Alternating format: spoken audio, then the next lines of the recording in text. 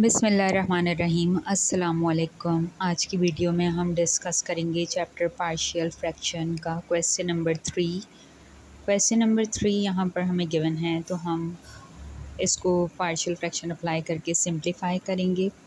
यहाँ पर आपको डिनोमिनेटर में गिवन है power. One plus x first bracket है और सेकेंड ब्रैकेट में वन प्लस एक्स स्क्वायर है और होल पर भी स्क्वायर गिवन है। तो जब इस तरह से क्वाड्रेटिक इक्वेशन भी आपको गिवन हो और आपको यहाँ पर पावर भी गिवन है टू भी लिखा नज़र आ रहा है तो फ़र्स्ट तो हम वन प्लस एक्स को एज इट इज़ लिख देंगे कांस्टेंट ए ऊपर लिख देंगे। फिर हम यहाँ पर लिखेंगे बी एक्स प्लस सी क्योंकि यहाँ पर डिनोमिनेटर में आपको यहाँ पे क्वाड्रेटिक इक्वेशन गिवन है one plus x square quadratic equation है। तो हमें यहाँ पावर भी क्योंकि गिवन है तो हम इसको टू टाइम्स लिखेंगे। फिर हमने लिखा d x plus e divided by अब हम लिखेंगे वन प्लस एक्स स्क्वायर और होल पर स्क्वायर नाउ हमने इसको आगे कंटिन्यू सॉल्व करना है तो यहाँ पर आप नोटिस करें कि गिवन है आपको डिनोमिनेटर में वन प्लस एक्स और गिवन है वन प्लस एक्स स्क्वायर पर होल पर स्क्वायर तो हम यहाँ पर अगर मल्टीप्लाई कर दें one plus x first bracket में और सेकंड ब्रैकेट में वन प्लस एक्स स्क्वायर पर स्क्वायर इससे अगर हम बोथ साइड्स पर मल्टीप्लाई से हम करेंगे तो हमारा ये क्वेश्चन जो है सिंप्लीफाई हो जाएगा। अब देखें, यहाँ पे लिखा हुआ है एक्स स्क्वायर न्यूमरेटर में मैंने लिख दिया और ऊपर मैंने यही वन प्लस एक्स और वन प्लस एक्स स्क्वायर पर होल स्क्वायर ये लिख दिया। Divided by one plus x और सेकेंड ब्रैकेट में वन प्लस एक्स स्क्वायर पर स्क्वायर ये लिखा इज़ इक्वल टू अब आपने यहाँ पर इस टर्म को ए से भी मल्टीप्लाई करना है और second b x plus c से भी और डी एक्स प्लस सी से भी। तो ए के साथ मैंने ये दोनों ब्रैकेट्स लिख दिए और divided by one plus x अब मैंने नेक्स्ट में ये काम किया कि बी एक्स प्लस सी तो लिखा हुआ है फ़र्स्ट ब्रैकेट में और इसके साथ मैंने मल्टीप्लाई इन दोनों ब्रैकेट्स को कर देना है। और थर्ड यहाँ पे न्यूमरेटर है, यानी b x plus c divided by one plus x square ये मैंने लिख दिया यहाँ पे। अब थर्ड है यहाँ पे plus d x plus e लेकिन उसके साथ अब हम क्योंकि वन प्लस एक्स और one plus x square multiply कर रहे हैं तो पहले दोनों ब्रैकेट्स लिखे फिर हमने यहाँ पर डी एक्स प्लस ई लिख दिया। Divided by one plus x square पर स्क्वायर होल पर स्क्वायर अब ये हमारी इस तरह से इक्वेशन बन गई। अब देखिए, इसमें सिंप्लीफाई करना है तो जो कैंसिल होता नज़र आ रहा है, उसे कैंसिल कर लें, यानी ये यहाँ पर दोनों कैंसिल हो गए ब्रैकेट तो एक्स स्क्वायर रह जाएगा। फिर उसके बाद यहाँ पर अगर हम देखें तो वन प्लस एक्स और ऊपर वन प्लस एक्स है तो ये दोनों हमने कैंसिल कर देना है। तो यहाँ पर ये हो जाएगा ए और फिर ब्रैकेट में वन प्लस एक्स स्क्वायर पर होल पे स्क्वायर फिर प्लस का साइन अब यहाँ पे देखें, दोनों में वन प्लस एक्स स्क्वायर पर स्क्वायर है तो एक बार कैंसिल हो जाएगा और एक बार रिमेनिंग होगा तो मैंने लिखा वन प्लस एक्स फिर लिखा वन प्लस एक्स स्क्वायर और नेक्स्ट लिखा b x plus e b x plus c अच्छा अब ये दोनों कैंसिल हो जाएँगे। यानी वन प्लस एक्स स्क्वायर पर whole square one plus x square पर होल स्क्वायर दोनों कैंसिल तो यहाँ पे आ जाएगा एक ब्रैकेट में वन प्लस एक्स और सेकेंड ब्रैकेट में डी एक्स प्लस ई तो इस तरह से इक्वेशन फॉर्म हो गई। अब हमने यहाँ पर नेक्स्ट स्टेप ये करना है कि हमने इसको सिंप्लीफाई करना है, ठीक है? तो फ़र्स्ट हमने एक्स स्क्वायर को एज इट इज़ लिख देना है। एक्स स्क्वायर को हम एज इट इज़ लिख देंगे। पहले मैंने इसको इक्वेशन टू का नाम दे दिया और ऊपर यहाँ पर इस इक्वेशन को मैंने इक्वेशन वन का नेम दे दिया। तो यहाँ पर इक्वेशन टू भी फॉर्म हो गई है और इसके बाद अब हम यहाँ पर इसको सॉल्व करेंगे by considering one plus x is equal to zero तो एक्स की वैल्यू आ जाएगी माइनस वन अब हमने किया put x is equal to minus one in equation number two equation number two में हमने पुट कर देना है माइनस वन को. तो हमारे पास कॉन्स्टेंट्स आना स्टार्ट हो जाएँगे, यानी माइनस वन लिखा ऊपर स्क्वायर इज़ इक्वल टू फिर ए लिखा। अब यहाँ पे वन है प्लस फिर एक्स स्क्वायर है। ब्रैकेट बनाया, फिर वन फिर प्लस फिर ब्रैकेट में माइनस वन पर स्क्वायर और होल ब्रैकेट पर स्क्वायर फिर प्लस फिर है वन प्लस एक्स तो यहाँ पर वन तो एज इट इज़ रहेगा। और फिर एक्स की जगह पे हम रख देंगे माइनस वन अब नेक्स्ट है हमारे यहाँ पर ब्रैकेट वन में वन प्लस एक्स स्क्वायर तो वन की जगह वन फिर प्लस और माइनस वन लिख कर ऊपर लगा देंगे स्क्वायर फिर हमारे पास है बी एक्स प्लस सी तो बी को तो हम एज इट इज़ लिख देंगे कांस्टेंट है और एक्स की जगह माइनस वन फिर प्लस और फिर सी लिख देंगे और ब्रैकेट क्लोज फिर हम लिखेंगे यहाँ पे प्लस फिर लिखा वन फिर प्लस फिर माइनस वन एक्स की जगह ब्रैकेट क्लोज फिर ब्रैकेट लिखा डी एक्स की जगह माइनस वन फिर प्लस फिर ई ब्रैकेट क्लोज यानी यहाँ पर मैंने एक्स की जगह पर माइनस वन पुट कर दिया है इक्वेशन नंबर टू में. तो ऐसा करने से माइनस वन पे स्क्वायर सॉल्व होके वन हो गया. फिर ए लिखा, फिर वन प्लस माइनस वन पे स्क्वायर वन हो जाएगा और होल पे square plus one minus one ये हो जाएगा ज़ीरो और ज़ीरो जब इससे मल्टीप्लाई होगा तो इस सब ब्रैकेट ज़ीरो हो जाएँगे। और नेक्स्ट यहाँ पे प्लस फिर वन माइनस वन ये भी ज़ीरो हो जाएगा और ज़ीरो जब मल्टीप्लाई होगा तो थर्ड वाली भी ट्रम पूरी ज़ीरो।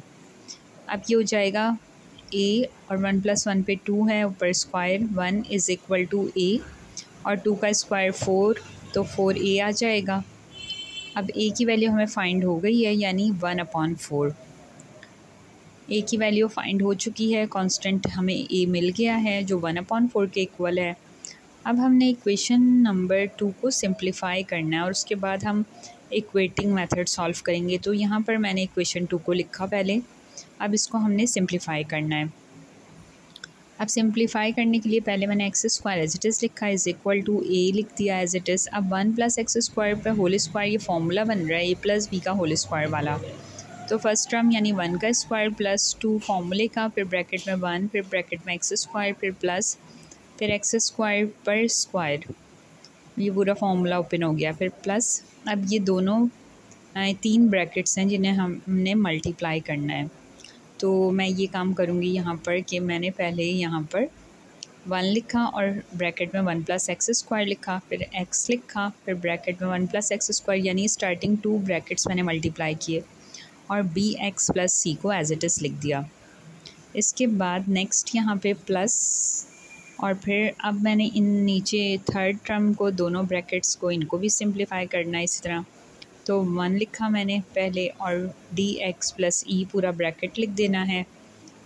क्योंकि हम इन दोनों ब्रैकेट्स को मल्टीप्लाई कर रहे हैं तो मल्टीप्लाई करने के लिए हम यही करते हैं कि फ़र्स्ट ब्रैकेट की फ़र्स्ट टर्म और सेकंड ब्रैकेट यानी डी एक्स प्लस ई फिर उसके बाद प्लस एक्स लिखा मैंने फ़र्स्ट ब्रैकेट की सेकेंड टर्म एक्स और उसको भी सेकेंड ब्रैकेट यानी डी एक्स प्लस ई से मल्टीप्लाई कर दिया।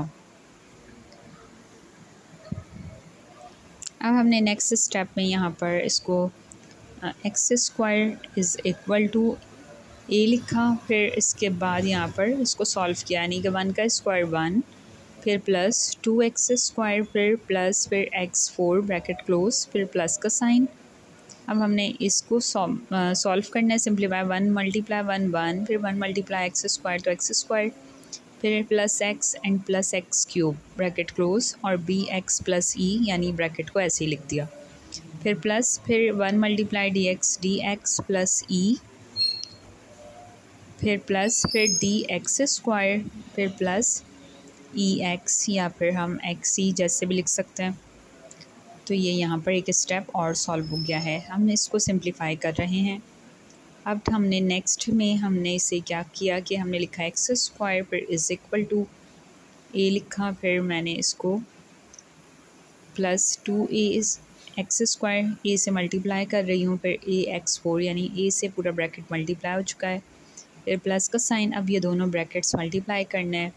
तो इसके लिए मैंने यहाँ पर पहले बी लिखा। एक्स लिखा और ब्रैकेट में one plus x square plus x plus x cube लिख दिया। फिर प्लस सी लिखा। फिर पूरा bracket one plus x square plus x plus x cube लिख दिया। फिर उसके बाद मैंने यहाँ पे प्लस और फिर d x plus e plus d x square plus x e ये पूरा ब्रैकेट लिख दिया। यानी अब हमें सेकेंड टर्म को मज़ीद सिंप्लीफाई करना है तो पहले एक्स स्क्वायर फिर is equal to a plus two a x square plus a x four फिर प्लस अब ये मल्टीप्लाई हुआ तो ये हो गया बी एक्स फिर बी प्लस का साइन बी एक्स क्यूब फिर प्लस का साइन बी एक्स स्क्वायर फिर प्लस का साइन बी एक्स की पावर फोर फिर प्लस फिर सी फिर प्लस सी एक्स स्क्वायर फिर प्लस सी एक्स फिर प्लस सी एक्स क्यूब और लास्ट हमने ये d x plus e plus d x square plus e x as it is हमने कॉपी कर दिया है. अब हमने नेक्स्ट स्टेप ये करना है कि हमने यहाँ पर इसको अरेंज करना है. यानी हमें यहाँ पर लाइक like ट्रम्स हैं, उनको लिखना है. पहले एक्स फोर की ट्रम्स लिख लेंगे हम. फिर एक्स थ्री की टर्म्स लिख लेंगे, उसके बाद एक्स टू की, फिर एक्स की और फिर कॉन्स्टेंट्स सो अरेंज करते हैं हम यहाँ पर। पहले मैंने लिखा यहाँ पे एक्स स्क्वायर फिर ए एक्स फोर फिर प्लस बी एक्स फोर तो यहाँ पर इसमें से मैंने कॉमन लिया एक्स फोर को। ए प्लस बी ब्रैकेट में आ गया, फिर प्लस फिर एक्स क्यूब कॉमन ले लिया तो ब्रैकेट में बी प्लस सी आ गया। फिर मैंने यहाँ पर एक्स स्क्वायर कॉमन लिया तो यहाँ पर ब्रैकेट में आ जाएगा two a plus b plus c and plus d. Bracket close. फिर यहाँ पर मैंने एक्स कॉमन ले लेना है तो ब्रैकेट में आ जाएगा b plus c plus d and plus e. Bracket close. फिर लिखा plus a plus c and plus e. इसको मैंने कह दिया इक्वेशन नंबर थ्री अब यहाँ पर हम कंपेयरिंग मेथड स्टार्ट करेंगे, यानी एक्स फोर की टर्म्स दोनों साइड पे, फिर एक्स थ्री की टर्म दोनों साइड पे कंपेयर करेंगे और हमें कांस्टेंट्स मिलते जाएँगे।